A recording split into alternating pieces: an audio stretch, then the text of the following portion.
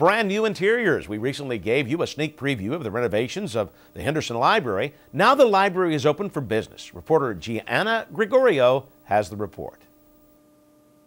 Council members, staff, and friends were more than impressed by the renovations at the Henderson Library. Everything is gorgeous, uh, very spacious, very light, very bright.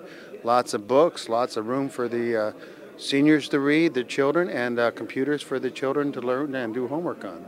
This is the first time the library received interior redecorating since its doors opened in 1961, and guests couldn't stop talking about the changes like the updated light fixtures.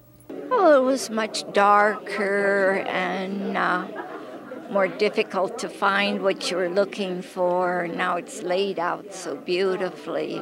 Sure, you can find anything you want quickly. Henderson is one of five libraries to go under renovations. The funds go to all five branches. We're the third branch in the series. Other improvements include new shelves, carpeting, ceiling, windows, and this desk. Before the renovations, people used to stack their books on top of the desk, leaving it cluttered. Now, the new Dropbox makes it easier for people to return their books. And although the library underwent major renovations, the exceptional customer service remains unchanged. I don't see well, and they've been so good to me. You know, they take care of me all the time. They pick out books for me and really do help us.